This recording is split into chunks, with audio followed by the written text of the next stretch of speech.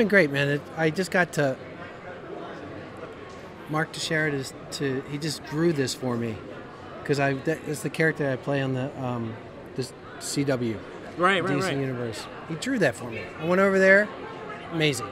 Just blew me away. Cool. And, and and being in Baltimore, have you had a chance to go to some of your various haunts? And, and you know, what has that been I like? I got my my folks here, which is always a good thing, and uh, got to see some more of my friends around. Okay. All right. Cool. Cool. Cool. So, so tell me, man. Um, you know, you've had an opportunity to do a multitude of characters. I know we were commenting on Jonah Hex. I'm gonna get to that in a second. Uh, but there have been other films. I'm gonna take you way back down memory lane and talk about uh, Forsaken. Uh, you're like, oh my gosh, yeah, Forsaken. So, um, so with that film, can you tell me? Uh, in doing it, what what it was that drew you, you know, to that that particular uh, film because it provides kind of a unique unique uh, perspective on, on vampirism. So you know when they when I got offered that, it didn't have any fangs in it, so it was a different kind of. It was basically a killer. What it was written as a, a vampire because they had extra. They they lived forever. It Right. had mythology behind it, Right. and so the mythology is really what got me. That this guy had to live through all this stuff like Lestat, like Vampire Lestat, and I really loved that character. But we didn't have any fangs. If we would have had fangs, we would have been uh, a whole different. They need fangs to sell the movie. That's what the Sony executives told me. We need fangs to sell the movie. Gotcha. Gotcha. All right. So jump ahead, DC Universe, Jonah Hex, um, and playing a character like that that that is so iconic. Can, can you talk a bit about you know getting into the head of that character and having already having an established um, you know tapestry of material to pull from, but you know still trying to make it your own.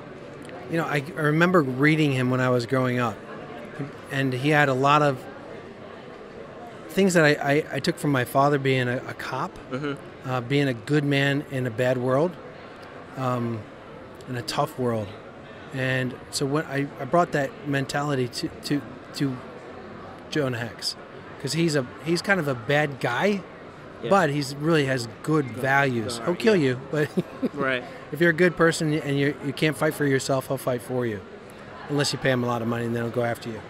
There's that. There's that. All right. Now, as you know, uh, with the Arrowverse, there's a huge crossover that's happening.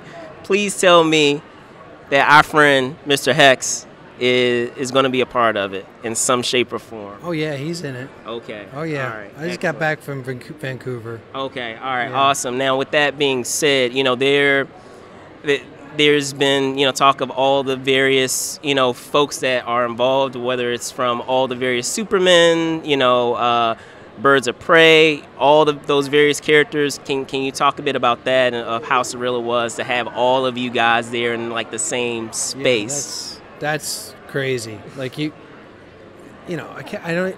They get so mad at me when I say like the Flash was there or like he was there. Constantine was there. Like you know, with Hex. That's whether we were together in a scene. I don't know, but their trailer, they're out They're there. right They're at lunch table. They're you know, it's awesome.